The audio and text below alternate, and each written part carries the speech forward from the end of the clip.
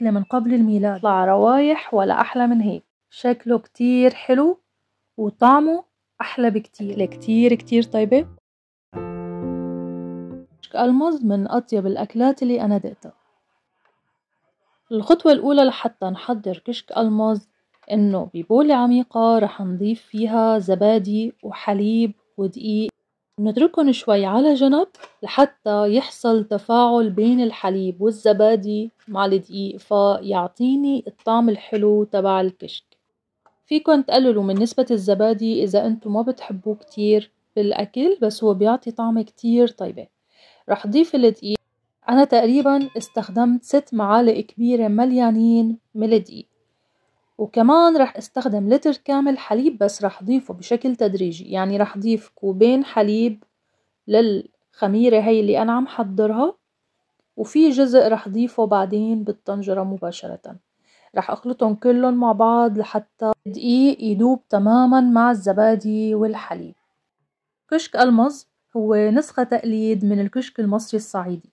لأنه هن استبدلوا كرات الكشك اللي بيحضروها الأهالي بالبيوت وبيخزنوها بالرز والنشا أو الدقيق.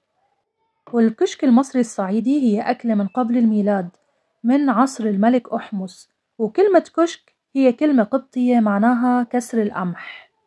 بيصنعوا الكشك سنويا مع دخول الصيف وحصاد القمح لحتى يكون موجود ببيوت الصعيد طول العام.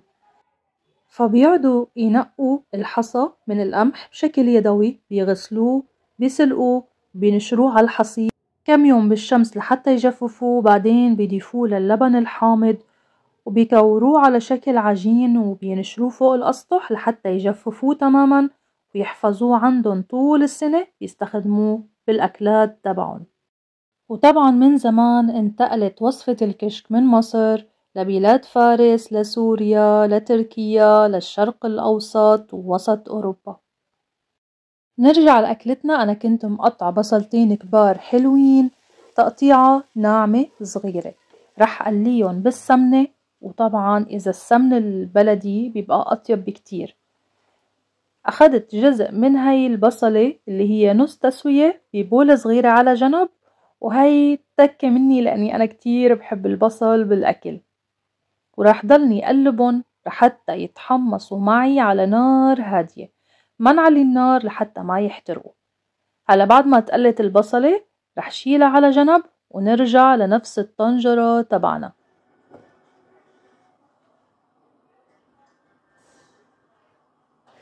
رح ضيف معلقة سمنة تانية. إذا بتحبوا تستبدلوا السمنة بالزبدة هذا الشي بيرجع لإلكن رح ضيف مكعبات دجاج.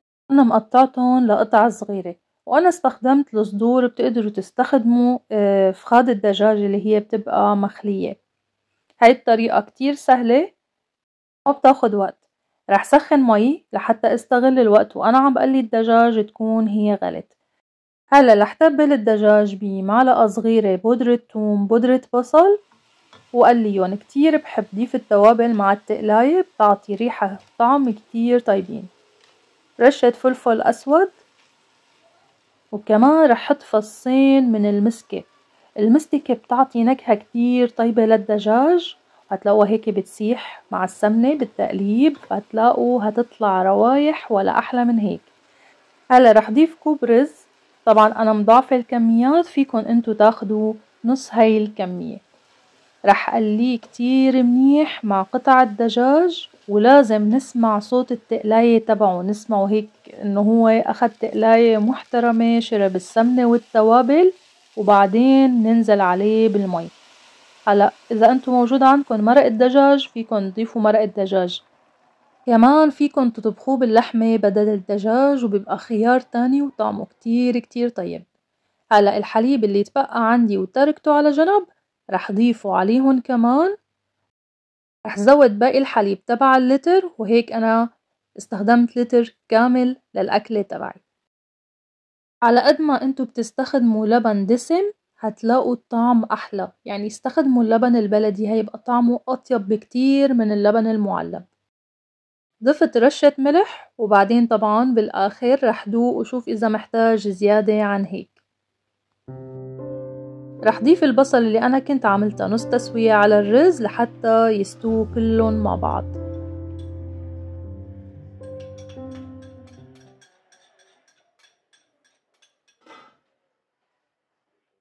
يعني بخلال عشر دقايق ربع ساعة بالكتير حنلاقي إنه الرز استوى. وبمجرد الرز يستوي رح ضيف عليها الخميرة اللي أنا كنت تاركتها على جنب تتخمر. بس رح أعملها تقليبة شوي بالمضرب لحتى أتأكد إنه ما في شي مرسي تحت بالبولة تبعي. وأنا عم حرك رح ضيف الخليط. رح ضل حرك بشكل مستمر لحتى القوام عندي يتقل. بس لازم القوام ما يكون قوام تقيل لأنه لسه كمان لما نسكبه رح يتقل أكتر. حسينا القوام تقل منزود شوية مي أو شوية حليب. إذا حسينا إنه هو خفيف ممكن ندوب معلقة دقيق برا بمي باردة ونضيفها على الخليط. القوام صار عندي ممتاز جدا. رح دوقه وشوف الملح تبعه إذا محتاج إني أنا أزود ملح. هلأ بعد ما استوى رح ضيف جزء من البصل المقلية جوا الكشك نفسه. رح يعطيه طعم كتير كتير طيبة. كل ما توصينا بالبصل هتبقى النكهة ولا أروع من هيك. شايفين كيف قوامه؟ لازم يكون هيك فيه انسيابية وناعم وبيتحرك بسهولة وبنفس الوقت ماله خفيف ومي. هذا القوام الممتاز جداً.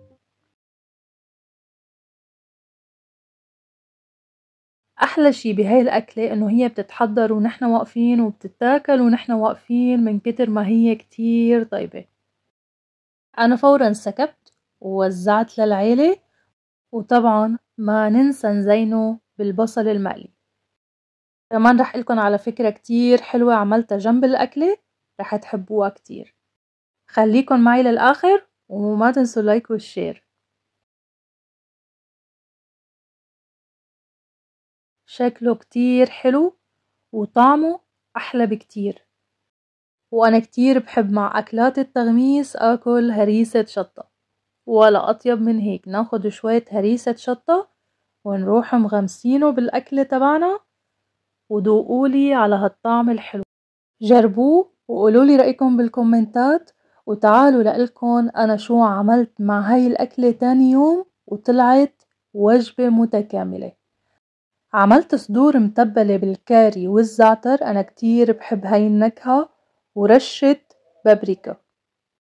ضفتلن قطع بروكلي أنا قطع البروكلي عملتها نص تسوية بالبخار جوا الميكرويف أنا عملتن جريل بالزبدة الطبيعي حتلاقوا طعمتها كتير كتير طيبة.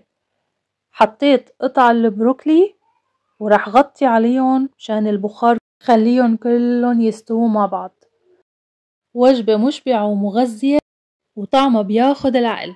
عن جد جربوا تعملوا الصدور الجريل بالزعتر والكاري حتلاقوا mix بين المطبخ الإيطالي والهندي بيعطيكن طعم كتير كتير طيب. وكمان الحلو إنه هي ما بتاخد وقت ولا أي مجهود بتتحضر بسرعة كتير. رح ضيف جرجير فيكن كمان تحطوا خس فيكن تعملوه سلطة رح سخن الكشك تبعي اللي كان باقي من قبلها بيوم. وفيكن كمان تعملوا معاه مثلا شوية سباكيتي أو رز أبيض. كمان الحلو إنه ممكن تضيفوا عليه أي صوص إنتو بتحبوه بالآخر آه، sauce barbecue أو sweet chili يعني الموضوع راجع لرغبتكم الشخصية. جربوه قولوا لي رأيكم بال comments ات. الأكلة كتير كتير طيبة وتستحق التجربة.